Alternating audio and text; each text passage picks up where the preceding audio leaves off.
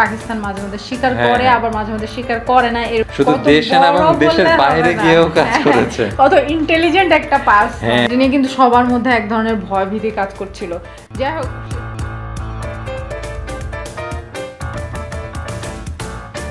স্বাগতম সবাইকে। বিশ্ব রিয়েকশনে আমরা চলে এলাম আপনাদের সঙ্গে আরও একটি নতুন ভিডিও শেয়ার করার জন্য। আর আজকে আমরা যে ভিডিওটি আপনাদের সঙ্গে শেয়ার করব সেই ভিডিওর টাইটেলটি হচ্ছে case study on Ajit Doval super spy James Bond of India আর এই ভিডিওটি আমাদেরকে রিকোয়েস্ট করেছে পিঙ্কি পণ্ডিত আর আমরা এই ভিডিওটি নিয়েছি YouTube channel doctor Vivek Bindra. ওনার উনি একজন মোটিভেশনাল স্পিকার তো ওনার আগেও আমরা মনে হয় একটা ভিডিওতে আমরা রিয়েকশন দিয়েছিলাম। ওনার অরিজিনাল ভিডিওর লিঙ্কটি আমাদের ভিডিও নিচে দেওয়া থাকবে। চাইলে আপনারা ওখান থেকে অরিজিনাল ভিডিওটিও দেখে নিতে পারেন। তো চলুন সবাই মিলে ভিডিওটি দেখে আসি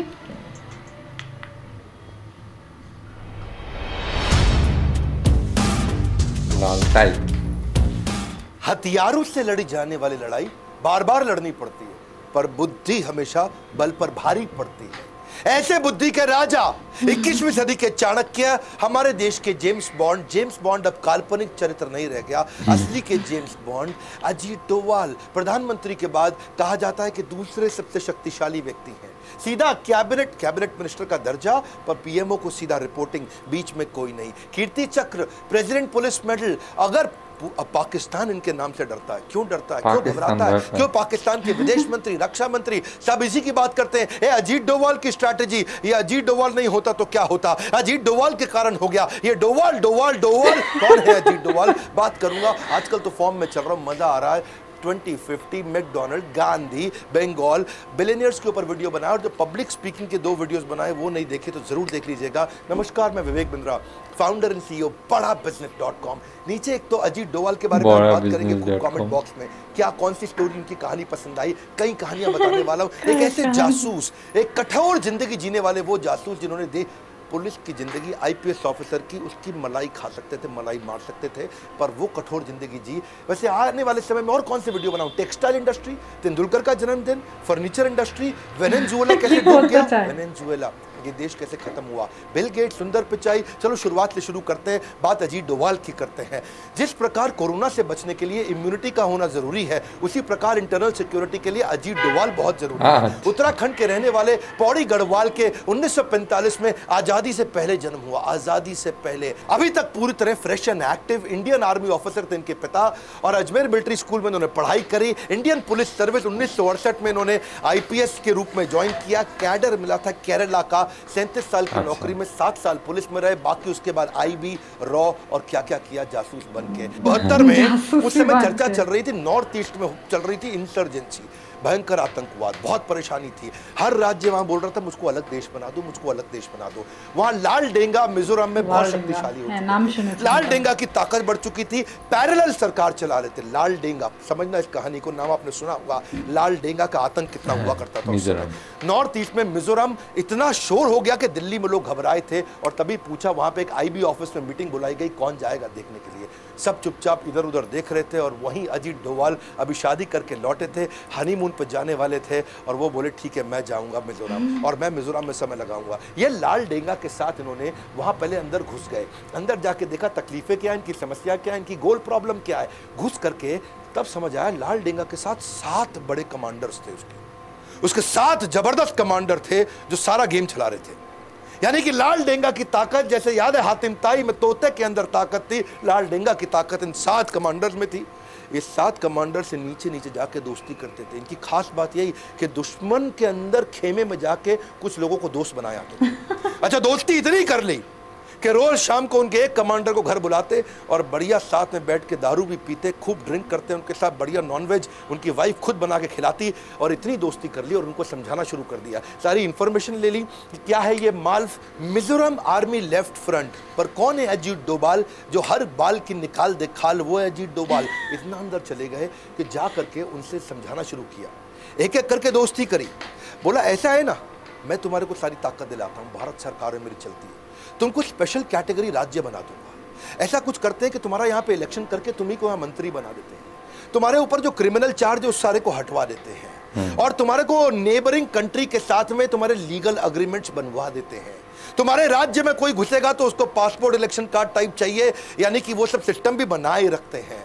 उन्होंने उनको इतना विश्वास दिलाया कि तुम्हें जो जो चाहिए मैं सब दिलाऊँगा और कोई धन की कमी है तो वो भी दिलाऊँगा। स्पेशल स्टेट होने पर जो पैसा नहीं चाहिए वो भी दिलाऊँगा। और एक एक करके इन्होंने सात में से पाँच आदमी अपने साथ क्षमा चाहता हूँ छह आदमी अपने साथ कर लिए। लाल डेंगा पड़ गया कमज़ोर।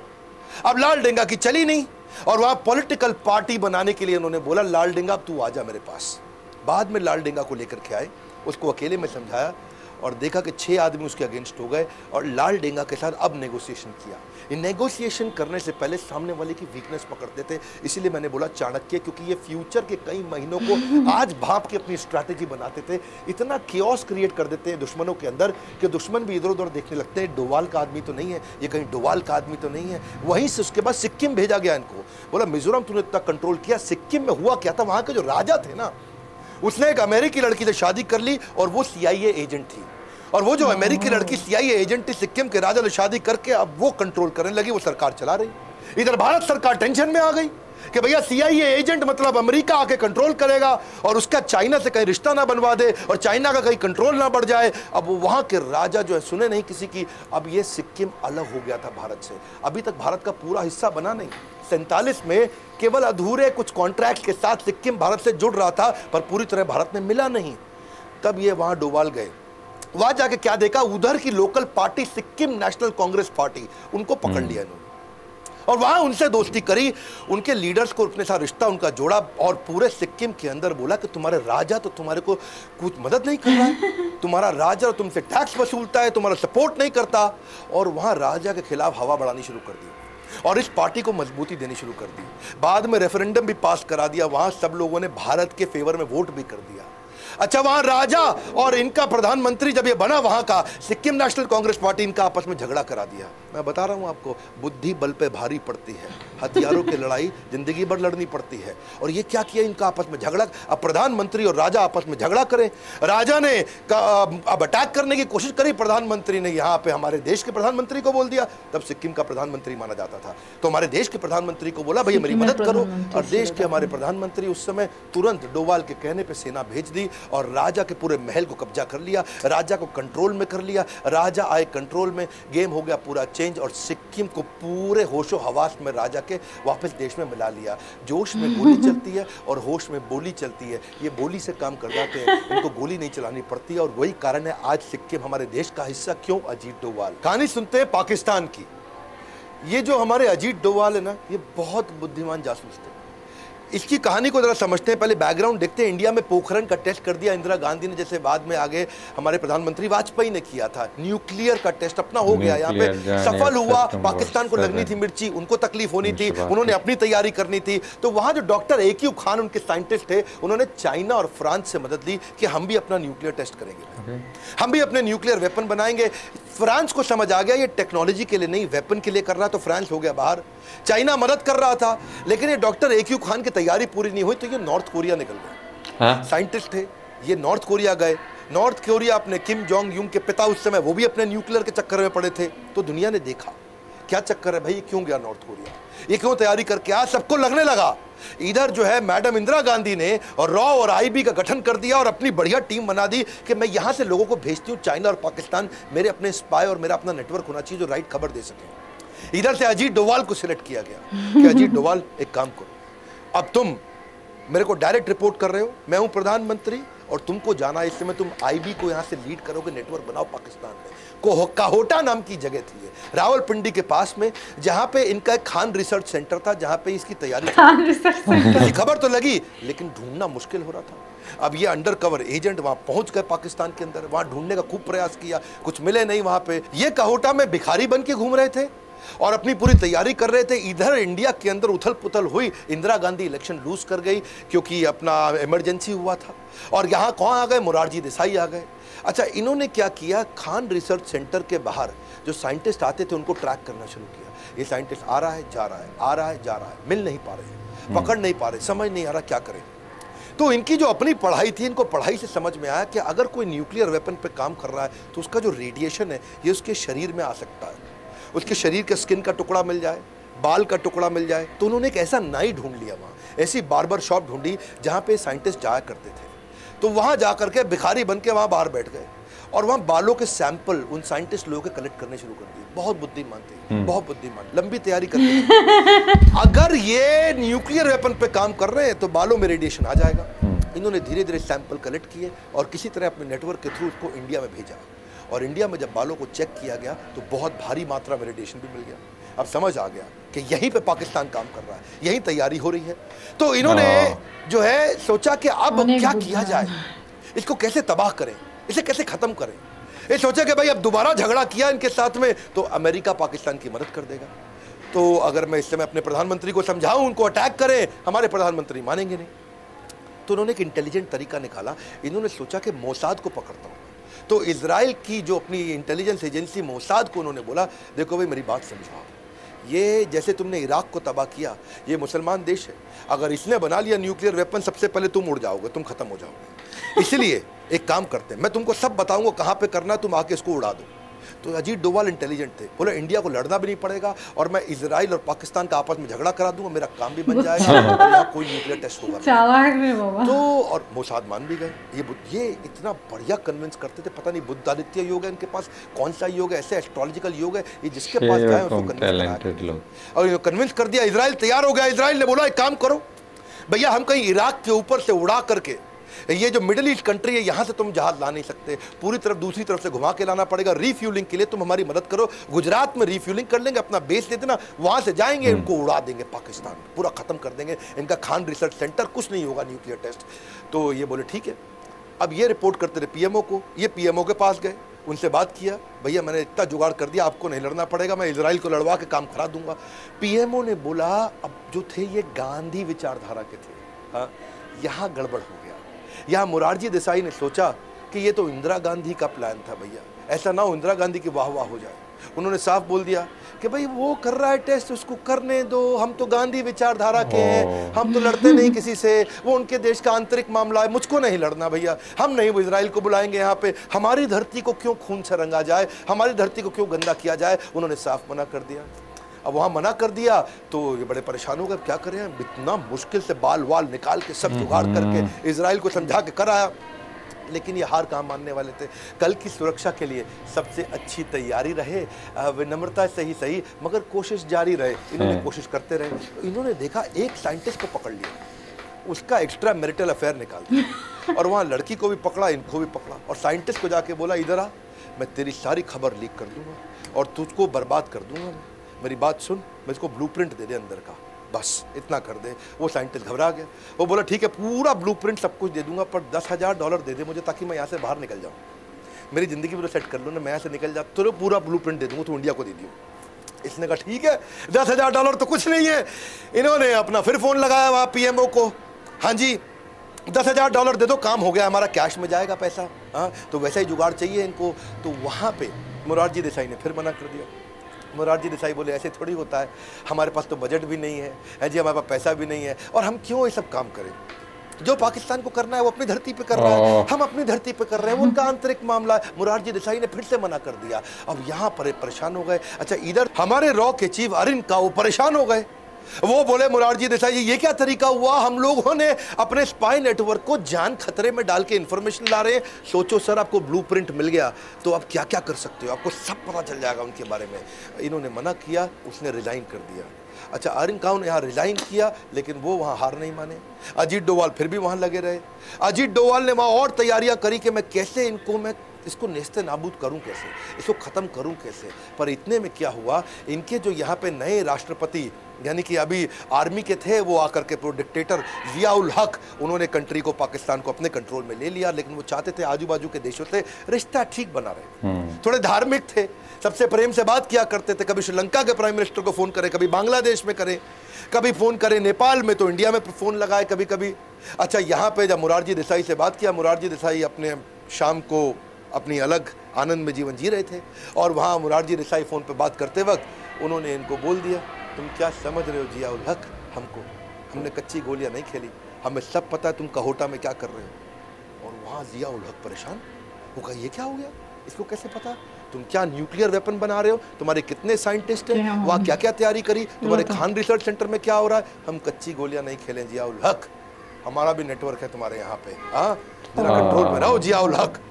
ये हमारे देश के या दुनिया के किसी भी देश के प्रधानमंत्री के द्वारा की गई लगभग सबसे बड़ी गलती थी। और यहाँ लियाउल हक ने क्या किया? ये बहुत गुस्से में आ गए वापस आए सोचो इतना कॉन्फिडेंशियल प्रोग्राम किसी को नहीं पता दुनिया में हम कर रहे हैं और यहाँ इनके प्रधानमंत्री को पता है। इन्होंने ढूंढ ढूंढ के हमारे नेटवर्क के आईबी के एजेंट्स ढूंढ ढूंढ के हमारे रॉ के एजेंट्स को पकड़ पकड़ के निकाल निकाल के मारा और कईयों को मारा सब बेचारे मार दिए गए पूरा नेटवर्क वहाँ नेस्ते नाबूद हो गया सब खत्म हो गया। और लेकिन अजीत डोवाल चुपचाप वहाँ से निकल के भाग आए। वो इंडिया आ गए। इतना तो तबाह इनको कर दिया था कि उन्होंने इनका न्यूक्लियर टेस्ट पंद्रह साल डिले करा दिया. अमृतसर स्वर्ण मंदिर की कहानी है अगली, जिसमें रिक्शा वाला बन के इन्होंने आतंकवादियों को खत्म कराया लेकिन उससे पहले समझो कि जासूस की ज़िंदगी होती कैसे है। ये एक्सट्रीम लोनलीनेस की ज़िंदगी है। ये अकेलेपन की है हाई रिस्क की है। पत्नी को नहीं पता, तू है कहाँ पे? किसी को नहीं पता। और अगर सब ठीक चल रहा हो ना, जीत रहे हो तो तो कॉन्फिडेंस बना रहता है। लेकिन भाई साहब जब बिल्कुल अकेले पड़ जाओ और सब खराब हो रहा हो और सारे प्लान बर्बाद हो रहे हो और आपको पता है किसी भी समय मारे जा सकते हो उसके बावजूद इतना करेज रखना ये थे अजीत डोवाल। अगली कहानी स्वर्ण मंदिर अमृतसर की। एक जासूस की सबसे बड़ी ताकत उसका आत्मविश्वास होता है। और वहाँ स्वर्ण मंदिर वहाँ भिंडरे वाला इन लोगों ने कब्जा कर रखा था पूरे स्वर्ण मंदिर को। उन्नीस सौ चौरासी में जब ऑपरेशन ब्लू स्टार हुआ था तो कई लोग मारे गए थे। पूरा स्वर्ण मंदिर भी टूट गया था। तो लोगों को बहुत बुरा लगा। उसमें इंदिरा गांधी को भी बुरा लगा था। नहीं चाहते थे कि गुरुद्वारे का नुकसान हो। पर नुकसान बहुत हो चुका था। सिख लोग बहुत नाराज़ हो चुके थे। लेकिन इस दफ़ा जो खालिस्तान की डिमांड के लिए कई आतंकवादियों ने स्वर्ण मंदिर को कब्जे में ले लिया उसको छुड़वाना था। और कैसे किया जाए? केपीएस गिल उस समय इंस्पेक्टर जनरल हुआ करते थे। हेड ऑफ़ द पुलिस थे उस समय पूरे पंजाब के। ये वहाँ पहुँचे अजीत डोवाल। अजीत डोवाल। बन गया रिक्शा वाला। और रिक्शा रिक्शा वाला बन के आजू बाजू इधर उधर स्वर्ण मंदिर के आसपास घूमने लगे। अच्छा ये वहाँ पंजाबी थे नहीं तो पकड़ में आ रहे थे वहाँ पे। जितने खालिस्तानी आतंकवादी वो समझ रहे थे। कि ये आदमी लोकल नहीं लग रहा है लेकिन ये इतना एक्सपर्ट बन के हमारे रिक्शे में घूम रहे थे शायद ये चाहते थे कि मैं उनकी नज़र में आ जाऊँ और आ गए नज़र में। और वहाँ जितने आतंकवादी उनमें चार लोग आए और उसको पकड़ लिया ये इधर आ। कौन है तू? ए कित्थों आया है? कित्थों आया तू तो सानू पंजाबी लगदा नहीं है। आ जा। तो कौन है? अच्छा अब ये पकड़े गए वहाँ। अब परेशान मैं करूँ तो क्या करूँ? तो इन्होंने उनको समझाया कि मैं आईएसआई का एजेंट हूँ। और मैं तुम्हारे लिए आया हूँ मुझे पाकिस्तान से भेजा गया तुम्हारी मदद करने के लिए। पाकिस्तान बनाने के लिए। वो माने नहीं। ए तू नौटंकी कर रहा है हाँ? झूठ बोल रहा है। ए मारो उसको कौन है ये? लेकिन उनको उस समय तक इतनी उर्दू सीख चुके थे। इतनी मस्जिद में आना जाना इतना कर चुके थे। इतनी औलिया की मजार देख चुके थे। इतना रिश्ते पाकिस्तान में घुस चुके थे कि इनके लिए आसान था। इन्होंने उनको कन्विंस कर दिया और इतना कॉन्फिडेंस से कन्विंस किया कि वहाँ आतंकवादी कन्विंस हो गए। नहीं नहीं नहीं ये तो आईएसआई ने भेजा।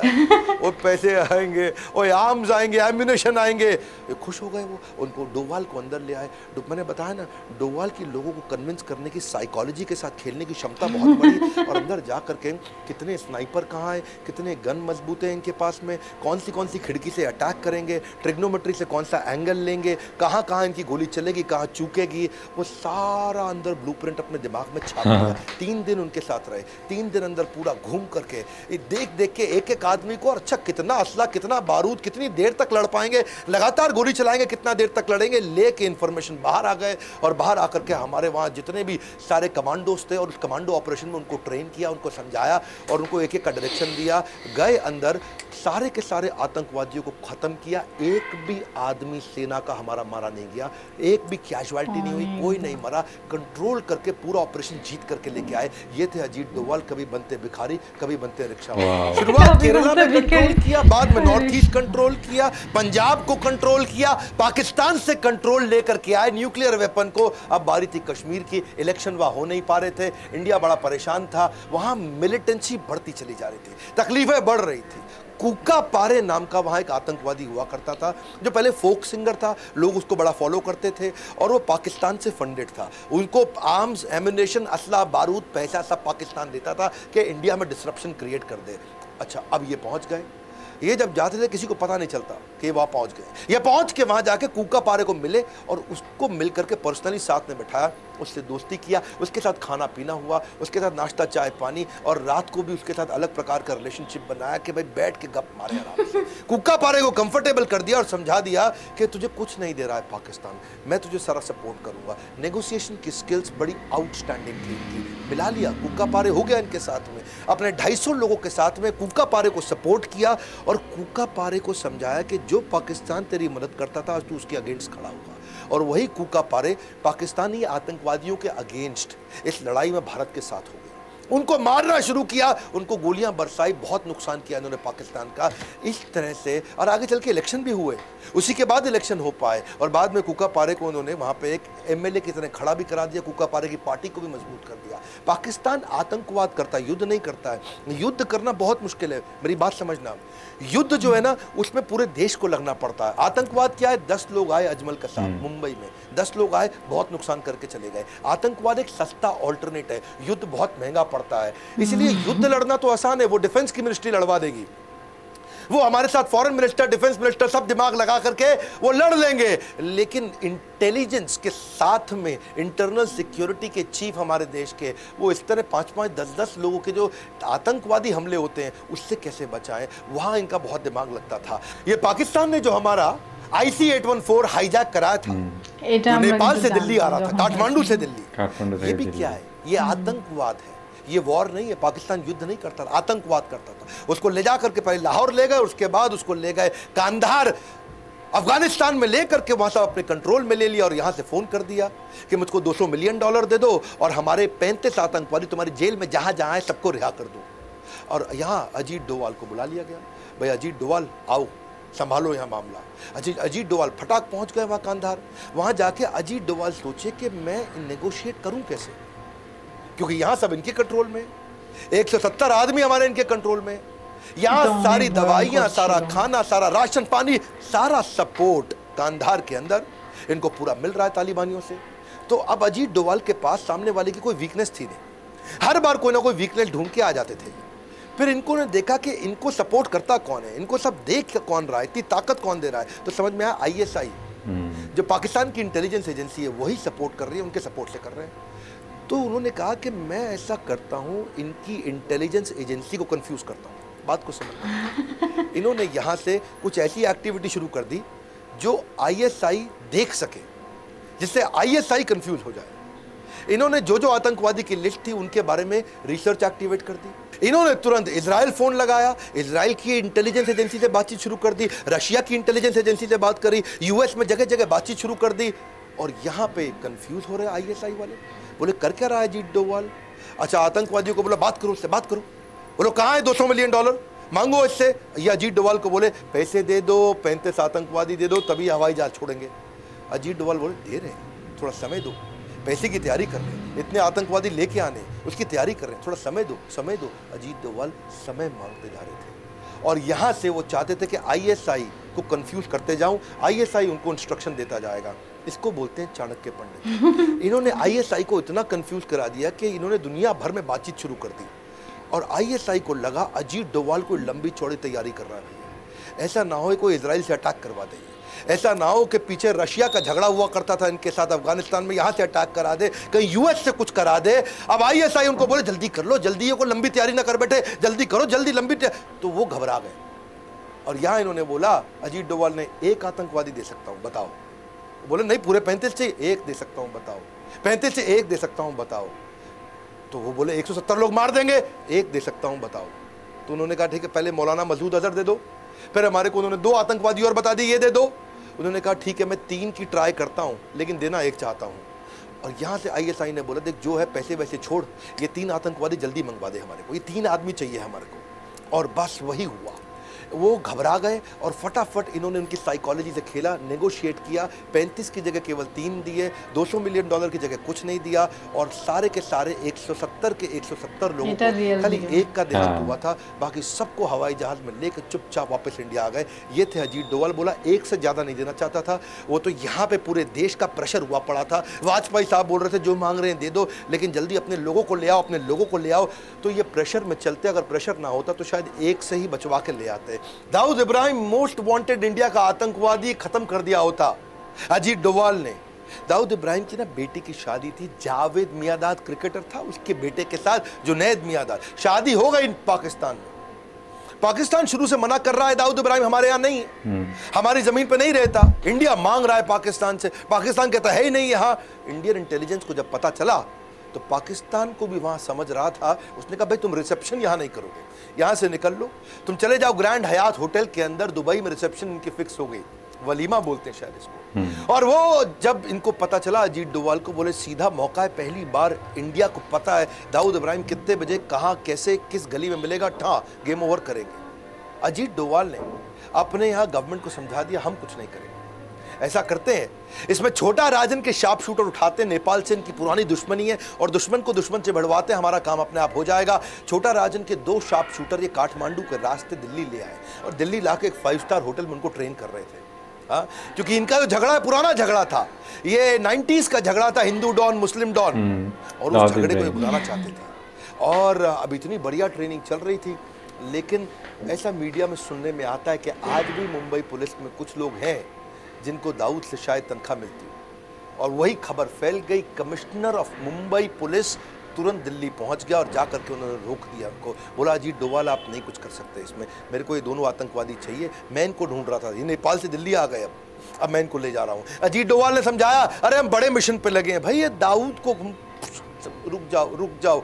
नहीं अजीत डोवाल उस समय रिटायर हो चुके थे और कमिश्नर उस समय स्टैंडिंग कमिश्नर थे और वो उस दोनों को दोनों को लेकर के वो नेपाली आतंकवादियों को या समझो छोटा राजन के दोनों शार्प शूटर्स को लेकिन अगर वो मुंबई पुलिस इस समय हस्तक्षेप नहीं करती तो दाऊद आज इस दुनिया में नहीं होता। अजीत डोवाल इंटेलिजेंट ऐसे हैं साहस ऐसा है कि बड़ों बड़ों को चकनाचूर कर दे। आईएसआईएस ने इराक को ऑक्यूपाई किया था। अगली कहानी सुनो। और उस समय आपको याद होगा कि तिरकित के अस्पताल में वहाँ हमारी कई नर्सेस थी। और वो 46 इंडियन नर्सेस थी जिनको वहाँ कैप्चर कर लिया। आई एस आई एस उनको छोड़ना नहीं चाहता था, वो उनके कब्जे में आ चुका था। अजीत डोवाल चुपचाप जिस दिन ये पता चला, दो दिन के अंदर इराक पहुँच गए। और इराक के अंदर किसी को नहीं मालूम इंडिया में नहीं मालूम किसी को, अजीत डोवाल इराक में इराक में नहीं मालूम, अजीत डोवाल इराक में है। 48 घंटे लगे अजीत डोवाल को। आईएसआईएस को समझाने में कि मेरे को सारी 46 नर्सेस चाहिए तुरंत। 48 घंटे के अंदर दुनिया में आज तक किसी को नहीं मालूम, अजीत डोवाल उनसे क्या बोल के आए। आईएसआईएस जो अमेरिका की नहीं सुनता, रशिया की नहीं सुनता, किसी की नहीं सुनता, वो अजीत डोवाल की सुन लिया। 48 घंटे के अंदर साली छियालीस नर्सेस को एकदम सुरक्षित वापस इंडिया में ले आए। ऐसे आदमी पुलवामा में अटैक हुआ, उससे पहले अटैक हुआ, यही तो मास्टर माइंड है हमारे सर्जिकल स्ट्राइक के। इंडिया ये तो आपको पता ना, चीपर तरीके से, चीप तरीके से पाकिस्तान अटैक करता है। वॉर तो करता नहीं सामने आकर के, आतंकवाद करता आतंकवाद सस्ता पड़ता है उनको। 18 सोल्जर हमारे शहीद हुए थे। कहाँ पे? ये उरी में। और उरी में जब ऐसा हुआ, पूरे देश को गुस्सा था। इन्होंने तुरंत एनएसए की टीम बुला करके और मिलिट्री की हाई लेवल मीटिंग बुला करके फना होने की इजाज़त ली नहीं जाती है, वतन से मोहब्बत पूछ के की नहीं जाती है। उन्होंने ब्लूप्रिंट तैयार किया, पूरी तैयारी कर ली, एक एक्सेलेंट अंडरस्टैंडिंग पीएम के साथ इनकी पहले से है। पीएम से इन्होंने अप्रूवल ले लिया आइडियोलॉजी दोनों की मिलती जुलती है, आगे बढ़े और जा करके तुरंत ग्यारहवें दिन के अंदर वहाँ जाके अटैक करके आए। ग्यारहवें दिन में एलओसी में घुसे, तीन किलोमीटर अंदर गए लॉन्च पैड खत्म किए, दो पाकिस्तानी सोल्जर्स को भी मारा, इनके अड़तीस टेररिस्ट भी खत्म किए इंडिया की एक भी कैजुअलिटी नहीं थी। ऐसे ये स्ट्राइक भी किया। 2019 में अभी रिसेंटली इन्होंने पुलवामा में अटैक किया। पिछली बार ये ग्यारहवें दिन पहुँचे, इस बार बारहवें दिन पहुँचे। इंडियन एयरफोर्स लेकर के एलओसी को डिस्ट्रॉय करके, उनके मिलिट्री कैंप के अंदर घुस के और वहाँ जाकर के इंडियन अच्छा जब ये लोग वापस आने लगे तो पाकिस्तान ने कुछ फॉलो करना शुरू किया। जब फॉलो किया तो उनको खदेड़ने के लिए वापस अभिनंदन गए। अभिनंदन वहीं रह गए। और जब अभिनंदन वहीं रह गए, ये इंडिया में बहुत खबर हो गई थी। दुनिया में खबर हो गई। डोवाल को टाइम नहीं लगा। दो दिन लगे केवल। दो दिन के अंदर यूएस एम्बेसी के थ्रू और डायरेक्ट मैसेज इतना मजबूती से पहुँचा। इमरान खान दुनिया को बोले नहीं नहीं हम तो क्या है विनम्रता के चलते वापस कर रहे हैं। हिंदुस्तान का पायलट है। हम एज ए पीस जेस्टर हम उनको उसको कल रिहा करने लगे हैं हिंदुस्तान এত সহজে 48 ছাড়তো না घंटे के अंदर बड़ा clear message दे নিশ্চয়ই दिया। উপরের ज़्यादा প্রেশার না इधर-उधर থাকলে किया बलूचिस्तान तुम्हें दिखेगा नहीं बहुत स्ट्रॉन्ग मैसेज दिया 48 घंटे में अभिनंदन वापस मुद्दा बड़ा सिंपल है मुझे ना तन चाहिए ना धन चाहिए बस अमन से भरा ये वतन चाहिए और जब मरूं तो तिरंगा कफन चाहिए ये तो सारी मलाई दुनिया की मार सकते थे पर हमेशा इन्होंने वो काम किया जो सबसे ज़्यादा रिस्की था कभी डरे नहीं निडर है, किसी थ्रेट से घबराते नहीं, चेहरे पे इनके डर दिखता नहीं है मेंटल पीस को मैनेज कर पाते हैं। इनके पास में सामने वाले की सारी फ्यूचर टैक्टिक्स क्या है, उसको पकड़ सकते हैं? अग्रेशन गुस्सा और शांति। ये दोनों को साथ में लेकर चलने वाले साइकोलॉजी से खेलने वाले, देश को अपनी जान पर खेल कर आंतरिक बाहरी सुरक्षा देने वाले अजीत डोवाल को हम कुछ नहीं दे सकते। पर अगर कुछ दे सकते हैं तो उनको भारत रत्न दे सकते हैं। उनको आज तक पद्मश्री पद्म भूषण पद्म विभूषण क्यों नहीं मिला? क्या लगता है, क्या ये भारत रत्न के असली हकदार नहीं, क्योंकि ऐसे रत्न बार बार जन्म नहीं लेते। मैं पिछली बार की तरह रतन टाटा कैंपेन में आपने मेरा साथ दिया था, भारत रत्न फॉर रतन टाटा। आज फिर कैंपेन ले रहा हूँ मैं। सौ लोगों को मैंने अपने कोर्सेज फ्री दिए थे, लगभग 105 लोगों को। अगर आपकी ट्वीट को इस समय रीट्वीट आते हैं लाइक्स आते हैं, लोग फॉलो करते हैं तो मैं आपको अपने कोर्सेज फ्री दूँगा अगर आप मेरे हैशटैग को ज्वाइन कर जाते हो। क्योंकि ये हमारे देश के ऐसे जासूस आज छिहत्तर साल की उम्र में अनस्टॉपेबल हैं। हाँ आज जीते जी उनको भारत रत्न मिलना चाहिए। Bharat Ratna for Ajit Doval spelling check कर लीजिए A J I T D O V L Bharat Ratna for Ajit Doval hashtag hashtag request by doctor Vivek Bindra बस ये दो हैश टैग कीजिए और मैं आपको फॉलो कर लूँगा. ट्विटर पर जाइए. इस वीडियो में, इस हैश टैग के बारे में सबको रिक्वेस्ट करिए. अजीत डोवाल हमारे ऐसे रत्न बार बार जन्म नहीं लेते हैं. उनके जीते जी, उनको भारत रत्न मिलना चाहिए. अगर आप मेरे साथ हैं तो इस दो हैशटैग के साथ में इस कैंपेन को ताकत दीजिए. Bharat Ratna for Ajit Doval request by doctor Vivek Bindra ये दो hashtag request by doctor Vivek Bindra से मैं आपको कैप्चर कर लूँगा और अगर आपके ट्वीट को लोगों ने रीट्वीट किया, उसको लाइक किया, उसको फॉलो किया, उसको शेयर किया, और सौ से ज़्यादा का एंगेजमेंट आया, मैं आपको सिलेक्ट करूँगा। और मैं आपको एवरीथिंग अबाउट ऑन्टरप्रेन्योरशिप कोर्स इतना तो मैं कर सकता हूँ। मैं कोई कोर्स बेच नहीं रहा, आपको free of cost hundred percent discount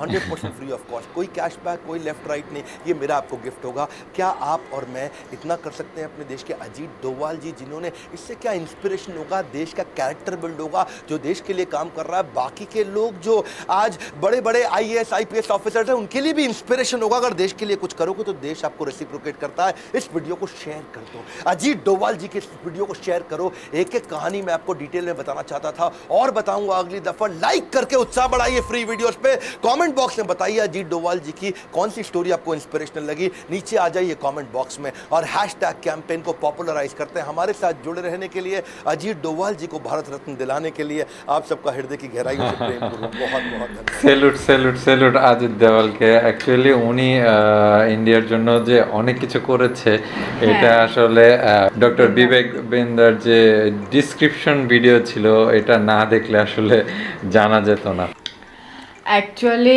আমি জানি উনি হচ্ছে ন্যাশনাল সিকিউরিটি অ্যাডভাইজার তো সেক্ষেত্রে উনি অনেক বড় একটা পোস্টে আছে। আর ওনার লাইফ সম্পর্কে যেটা বলল সেখানে আসলে রিস্ক আর রিস্ক হ্যাঁ উনি তো লাইফ রিস্ক নিয়ে রিস্ক নিয়ে কাজ করেছে জীবনটাকে মানে উপভোগ করার মতো সুযোগই পায়নি। একটার পর একটা প্রজেক্ট চলে এসেছে আমার কাছে এই ধরনের কাজ যারা করে আমার কাছে মনে হয় ঈশ্বর কে জানে সারাক্ষণই রিস্কের মধ্যে থাকে কখন কোথায় কীভাবে মারা যাবে কি মানে কোনো কিছু ঠিক নাই।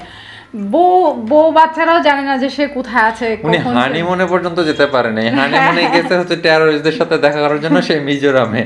সেটা ছিল স্টার্টিং এটাও একটা ফানি ছিল যে উনি মিজোরামে গেছে বিয়ের পরে সেখানে চলে গেছে। কিন্তু ওনার টেকনিকগুলো আসলেই ভালো। আর সবচেয়ে বড় ব্যাপার হচ্ছে আমাদের জন্মের আগে যেগুলো ঘটনা ঘটে গেছে ওগুলো সম্পর্কে আমরা অতটা জানি না। কিন্তু যে নার্সগুলা ক্যাপচার হয়েছিল ওটা সম্পর্কে কিন্তু আমরা হ্যাঁ, তখন টেলিভিশনে অনেকবার দেখেছি এবং যেটা হচ্ছে প্লেন যে হ্যাঁ ইয়ে অভিনন্দনের যে ব্যাপারটা সেটাও কিন্তু আমরা রিসেন্ট ঘটনা দুই হাজার উনিশ সালে। তো তখন কিন্তু আমরা এগুলো দেখেছি যে. এগুলো নিয়ে কিন্তু খুব টান টান উত্তেজনাপূর্ণ ছিল দুই দেশের মধ্যে সম্পর্ক হ্যাঁ আমরাও সবসময় এগুলো কিন্তু টেলিভিশনে দেখছিলাম আসলে কি হচ্ছে কি আর হচ্ছে। তাছাড়াও বাইরের বাইরের যে হস্তক্ষেপ যেটা বলতেছিল যে আমেরিকা কি করবে এখন রাশিয়া কি ধরনের পদক্ষেপ নেবে এইগুলোর মধ্যে? সে কি আসলে অভিনন্দনকে জীবিত ছাড়বে নাকি কোনো জেল হবে? কি ধরনের কি করবে? এটা নিয়ে কিন্তু সবার মধ্যে এক ধরনের ভয় ভীতি কাজ করছিল।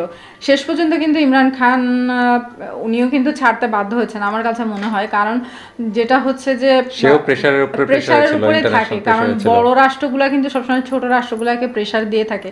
তো সেক্ষেত্রে উনিও এক ধরনের প্রেশারের মধ্যে ছিল ওনাকে ছেড়ে ছেড়ে দিতে বাধ্য হয়েছেন উনি। আর যেটা উড়ি যে স্ট্রাইকটা আমি বলব যে এটাও কিন্তু অনেক বড় একটা স্ট্রাইক ছিল কারণ সেটা পাকিস্তান মাঝে মধ্যে স্বীকার হ্যাঁ, করে হ্যাঁ। আবার মাঝে মধ্যে স্বীকার করে না এরকম একটা অবস্থা কারণ তাদেরও কিন্তু দুজন সেনা মারা যায় এবং এটা হচ্ছে যে এই বর্ডারের কাছাকাছিতে যতগুলা ধর তোমার হচ্ছে ক্যাম্পেইনগুলা ক্যাম্পেইনগুলা থাকে যেগুলা হচ্ছে গভর্নমেন্টের না আমার কাছে মনে হয় যে আতঙ্কবাদীদের যে ক্যাম্পগুলা থাকে সেগুলোতে তারা হামলা করে। তো এটাও কিন্তু অনেক ভয়ঙ্করই ছিল। কারণ হচ্ছে অল্প সংখ্যক সৈন্য নিয়ে ওখানে যে এই সৈন্য সেই আতঙ্কবাদীদেরকে সেখানে তাদেরকে তাদেরকে আসলে ব্যাকে হাঁটানো। ব্যাকে হটানো হ্যাঁ এগুলা কাজ কিন্তু আসলে ইয়ে। কঠিন। এবং উনি কিন্তু অনেক ব্রেনের কাজ করেছে। টোটাল যে ধরনের মাস্টার মাইন্ড করেছে সবগুলো হচ্ছে গেম হ্যাঁ। প্ল্যানগুলো খুব সুন্দর ছিল। এবং শুধু যে দেশে না দেশের ভিতরে তো উনি সব জায়গায় কাজ করেছে। সিকিম তাছাড়া হচ্ছে জম্মু অ্যান্ড কাশ্মীরের যে জায়গাটুকু হ্যাঁ। এগুলোতে শান্তি আনার জন্য। তাছাড়া গুজরাটে যে স্বর্ণ মন্দির হ্যাঁ স্বর্ণ মন্দিরের বিষয়ে যে ঘটনাটা হ্যাঁ এই সবগুলোতে যে ওনার ইনভলভমেন্ট ছিল এটা যদি বিবেক বেন্দ্রার এই যে ভিডিওর যে ডিসক্রিপশন ছিল এগুলো না দেখলে আসলে ব্যাকগ্রাউন্ডে যে কাজ করছিল তার সম্বন্ধে জানা হতো না। জানা হতো না হ্যাঁ।